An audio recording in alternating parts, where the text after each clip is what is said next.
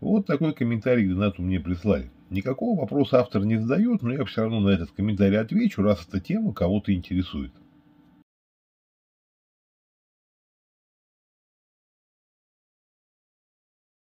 На моем канале не было и никогда не будет видео про политику по одной простой причине.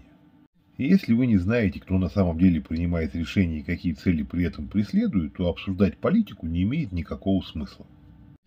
А вы этого не знаете и знать не можете, потому что об этом вам никто никогда не расскажет. Даже архивы времен Великой Отечественной и Второй мировой войны до сих пор засекречены, хотя прошло уже столько лет. Кстати, по-моему, недавно срок секретности у них снова продлили. Если вы искренне верите в то, что люди, которых вам показывают по телевизору, реально управляют страной, то, видимо, вы наивный человек. А вообще у меня складывается впечатление, что весь мир управляется из единого центра, а государство это как бы отделы в какой-то большой организации, и начальников в них тоже назначают сверху. Ну и теперь по поводу нашей или вашей страны. Чтобы вы могли так говорить, в этой стране вам должно что-то принадлежать. Так что же вам здесь принадлежит?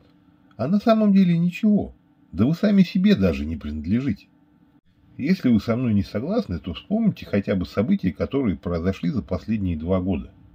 Разве кого-нибудь когда-нибудь спрашивали, хочет ли он, например, идти в армию, платить налоги, делать прививку от коронавируса и так далее?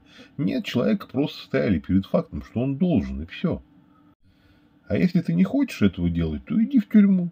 Вот, в принципе, все, что вам нужно знать о том, кому вы здесь принадлежите.